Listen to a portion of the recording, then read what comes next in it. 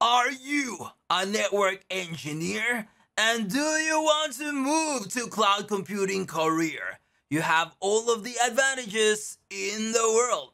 Is it really advantageous knowing all of these network technologies such as routers, switches, firewall, etc.? Well, this is what this video is all about. We will talk about both network, cloud related technologies, and certification path as well. For those who are new to this channel, welcome. I am your host, name is Dean Armada, and I'm the Cloud and Data Center!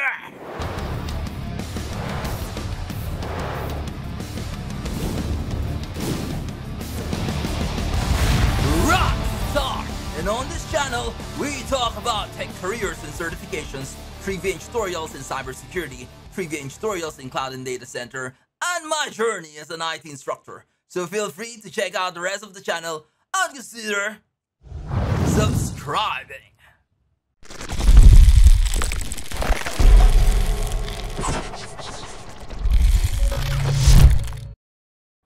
Here are the typical network skills that you probably already have as a network engineer. Now, I'm gonna rate these common skills based on the relevance to manage the cloud. And take note, I am more familiar with AWS or Amazon Web Services, but I expect Google and Microsoft Azure have the common requirements when it comes to network technologies.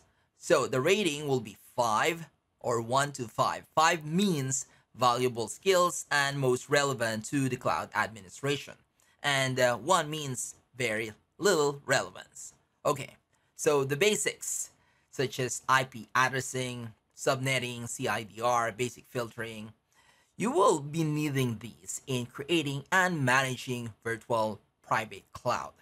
Okay, and what else? NACL or Network Access Control List is also very common. So I will give this 5. Next, switching, such as VLANs, trunking, port channel slash link aggregation group, and STP. You won't see these technologies or configuration, though VPC or the virtual uh, private cloud is considered like a VLAN with a subnet, of course. So I will only give this two. Next, routing skills. So we have the static and dynamic routing, and we also have NAT or network address translation. In AWS Cloud, there is what we call Internet Gateway. So basically, it's a cloud router where you manage routing and uh, network address translation as well. So I will give this 5. Next, advanced networking, such as enterprise and data center technologies. So we have wireless, we have HSRP, VRRP, and these are the first hop redundancy protocol. We also have VPC, or this is, this is a different VPC. This is VPC for switches. Uh, this is virtual port channel in an open standard, they call this MLAG. Okay, what else? VXLAN. So these are a little more advanced. These are not available in the cloud, unfortunately. It's good to have, especially if you're doing hybrid cloud, but you will not see this in the native cloud configuration. You will not need this at least in the uh, associate or up to the mid level. Next, security or network security where you do advanced filtering and creating generic rules and generic policies and what else VPN slash IPsec. I will give this 4. You will be managing lots of rules, policies from many different configurations and services. And from time to time, you will be needing your VPN and IPsec skills. Non-routing and switching skills. Now, as a network engineer, you probably know how to manage and familiar with routers and switches. Now, it's not only routers and switches that is very important and highly valuable when it comes to networking and managing the cloud. Alright, so one of the most important device and technologies is application load balancer or sometimes we call it ADC or application delivery controller like F5 Big IP where it does application load balancing and it is associated to servers, network, and policies as well. And it's one of the most important skills to have. Next, web application firewall. So if you are already familiar with application load balancing, it's advantageous also if you understand WAF because this is a service or a module that is associated to your application load balancer or ADC. And this is designed to protect your web application and APIs. You are moving to cybersecurity now. Not bad. Next, servers and virtual machines. So in AWS, we have what we call EC2 or Elastic Compute 2. And this is also known as the instances. Well, basically these instances or EC2 are just bunch of VMs. And obvious, it would be really helpful if you know how to manage VMs like allocating system resources, like memory, CPU, etc. And also connecting it to the network. Next, DNS or domain name service. In AWS, there's what we call Route 53. This is a reliable way to route users to the internet applications. You, as a cloud network admin, you will be monitoring DNS records, DNS zones, health checks, DNS traffic policies, and many others. Okay, so these four technologies are really important to understand before or even you're started moving to the cloud as your new career. Uh, next, um, this is uh, other skills to learn, not mandatory, but it's very advantageous. All right, so not a priority. So first, applications. Applications specifically web, okay? Because in uh, AWS, the reason why it's called uh, Amazon Web Services because most of the applications are web-based. All right, second, containers, okay, such as Docker, Kubernetes.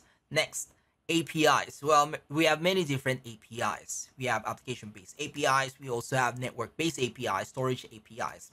You as a network engineer, it's very advantageous if you already know the basics of APIs and you are also familiar with network-based APIs. Next, storage.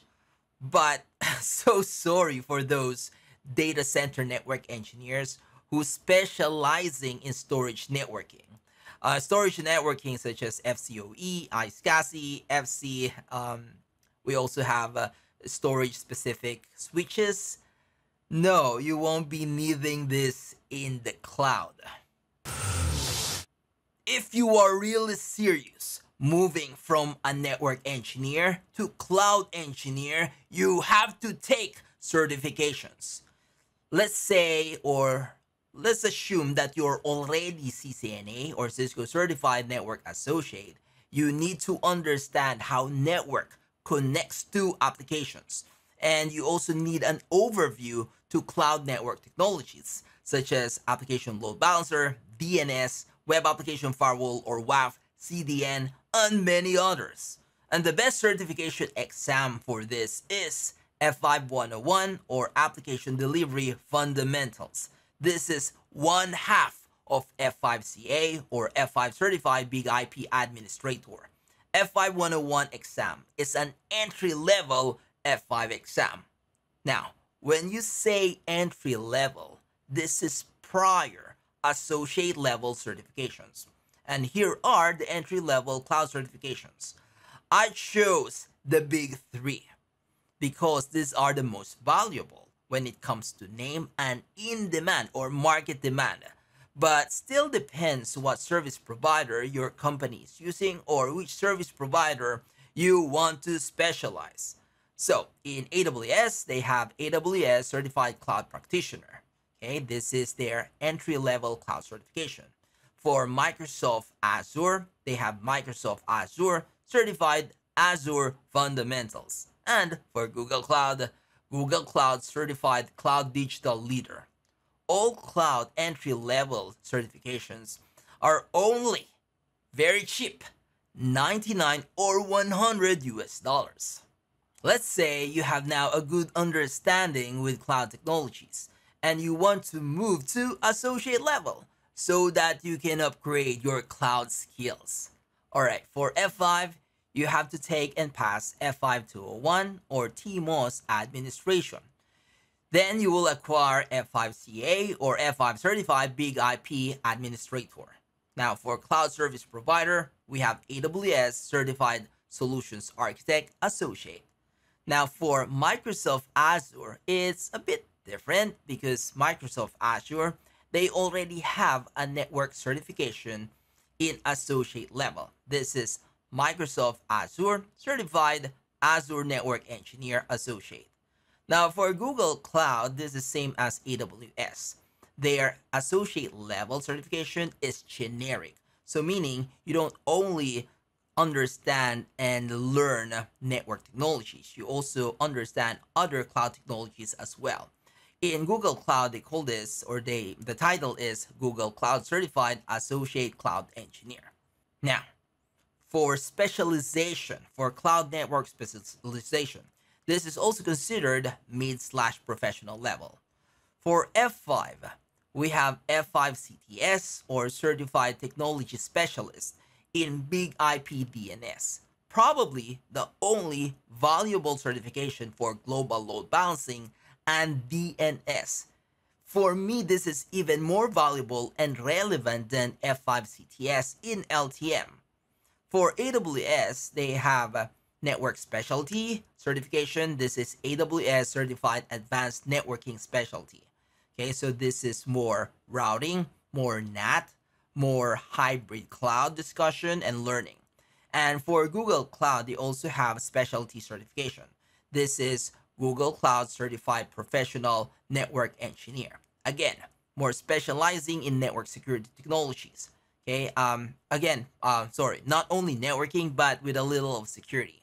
So you don't only talk about VPC, you also talk about a little IAM and web application firewall as well. Tell me, what do you think? Are you ready to understand cloud network technologies? Or are you still enjoying enterprise or on-premise data center network engineer career? Or waiting for hybrid cloud design project? Comment below if you have any questions and don't forget to hit the like button.